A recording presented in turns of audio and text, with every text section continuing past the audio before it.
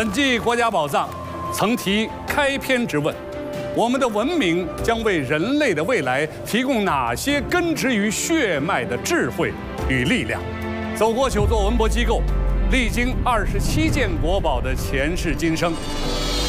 我们看到祖先面对自然能尊师守卫，开悟成悟；面对创作肯止于至善，臻于至美；面对危难。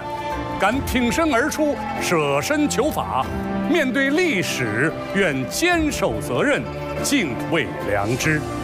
这是中华民族生生不息、长盛不衰的精神密码，